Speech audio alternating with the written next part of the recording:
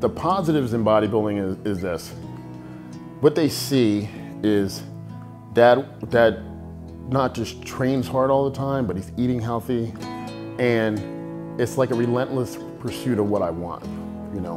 Um, they don't see somebody who's talking about, man, I really wish, you know, because you hear parents complain, but they're not seeing me complain and not doing something about it, you know.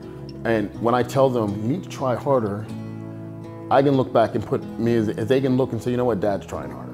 When they see me train in the gym, they don't see dad stop when it gets hard. They see him go harder when it gets hard.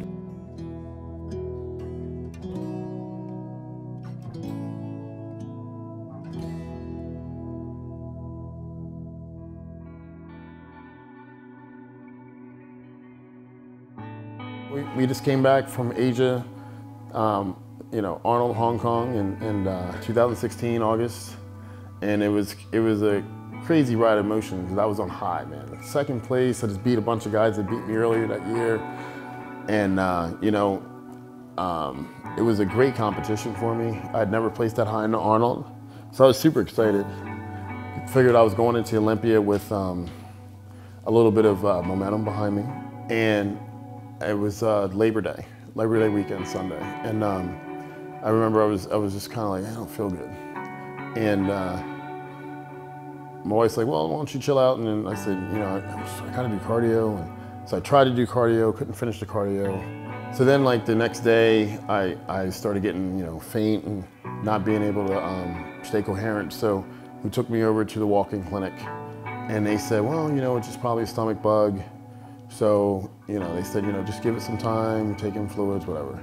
Um, the next morning, I get up and um, you know, I just wasn't making sense and completely dehydrated. And my sister uh, called me, and then uh, she called my, my wife and was like, Yo, we're gonna lose him. You need to get him to the hospital. And uh, so the ambulance came and got me, and um, I don't remember a whole lot after that. Um, I just remember laying in the hospital. I was like, the lady was like, well, what are you doing? And I was like, oh, I'm ready to do Olympia, so you guys gotta fix me so I get out of here. And they're like, your bowels are shut down, your kidneys are in failure, and um, uh, we're worried about you going in uh, cardiac arrest. And I was like, I don't feel that bad, you know? And, uh, and then um, they were like, you're not gonna be out here for a long time. So you know, I went in and uh, just kept losing weight. And I went in at 240, came out at like uh, 203. Weirdest moment was when I looked in the um, mirror at home, because you know you're, you're familiar with the mirror at home, and you because you looked at it a thousand times, you know, posing. And I'm like, just look frail and skinny, you know.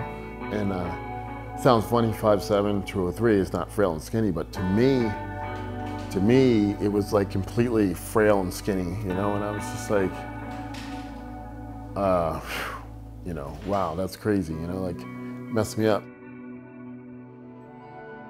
What's What's up, Cook?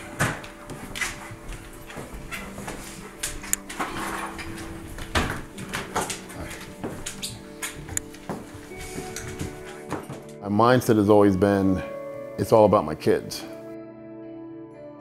Our child development, I have to write. Did you hear about that kid?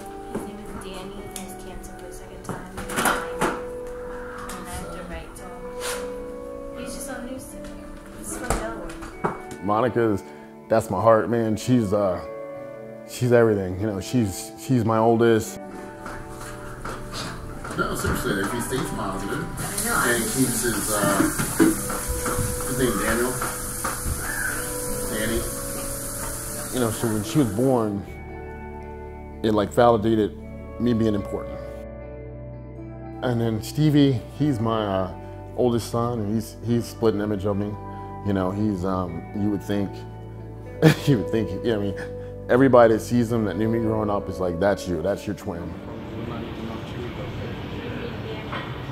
like when you, when you work out, you're breaking down small micro tears in the muscle, and that's and your body prepares you, and that's how you look at it.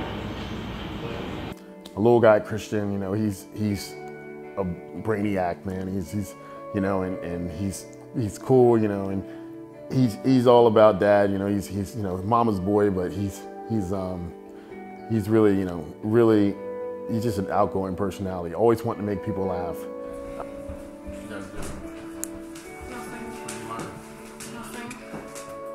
Can't can't say enough about him. I am bored to death. And then my Alana, she's my toughest, you know. She makes daddy work for the affection. She makes daddy like my other three, they'll come up to me and hug on me and dad, I love you. Alana's like, okay, give you a hug, that's enough, you know. Hey, mister, stop performing now. you know, she's she's really special. She's just just an angel, and um, you know, people meet her and they just, they're just like, man, she's so much more mature than her age. I think it's because she's the youngest, so she sees all the others trying to catch up. So it was like a blessing in disguise because not only does it get me to appreciate everything I'm doing now more, um, I got more, I got so much more in touch with my, my family again, you know, and uh, like my younger two like completely night and day different. And then it, it, it, you know, me and my wife got closer, and so, you know, um, it, you know, it's a blessing, you know, because I, I would, you know, who knows, you know, you just keep going, you keep going, you're up here, and all you forget, you know, you forget what's really important, because when that's all gone, they're still here, you know. You know, all of them have actually been on stage. Like, I've been doing it long enough that, you know, like Monica and Stevie started doing it, you know, when, um, when all I was doing was local guest posings with me, you know. And people were excited to see it because they didn't see it often. Um, but now I make sure that I always put a couple local guest posings on my calendar for the younger two. And they, they love doing it with dad. They have a lot of fun with it, and they scream at the audience too. And so you'll hear sometimes in the video them screaming, "Go, Daddy!" And it's like they're, they're very excited. And they like they like the toe touches. And I remember Christian practicing here, and, and poor parents they were they're very conservative and you know, very religious, and um, they came over for I think Christian's birthday or one of one of their birthdays, and all of a sudden uh, Christian's like, "Oh, let me practice the routine, mommy," and he stripped down to his underwear because he's used to seeing Fred on stage and, in posing trunks. My parents were just like, "What is he doing?" and then he did the Fred's complete routine. His complete routine. He did like the the moonwalk. He did the robotics. He tried doing the toe touch, all that stuff in his underwear. My parents were just like, "Oh," and we're all cheering and everything. I think they were a little concerned, but. if it was possible, she'd be at every show. Um, and I know this because uh, last year I was still having issues from the salmonella and um, just after effects, and I just couldn't get it together. Like it was eating, and I have a good couple weeks, and started throwing up again, and my body just wasn't right. And uh, I was contemplating just being done, retiring, being done with it.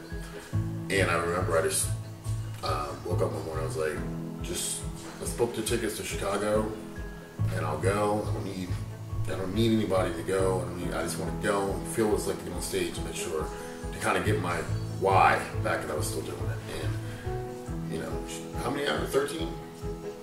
13 hours by herself, just her and two kids, driving out to Chicago, and um, you know, my two younger two. So um, that's that takes a lot. That's a lot. Uh, her by herself, you know, without hesitation, I'm coming. I was like, no, I don't think it's a good idea. You don't need to go by yourself, so I'm. She was there, and you know, we, we didn't go there with the expectation of doing well, or winning, or anything, but she just wanted to be there, and it was it was just an amazing experience. Seeing her out there, and and knowing my family was there rooting for me, and uh, knowing she was there was uh, made it all worth it. And I think I was like the happiest guy ever in second call out because I found out, I remembered why I was doing it. So, you know, staying focused on my family, staying focused on her, because I mean, my wife is amazing and I'm very blessed to have her. Um, staying focused on that is what's going to allow me to be great. And then my daughter said, Dad, I really like to see you win the Arnold. And I really like to see you up top in the Olympia. And everyone knows I don't let my kids down. So, I mean, I, I, I 100% believe that's going to happen.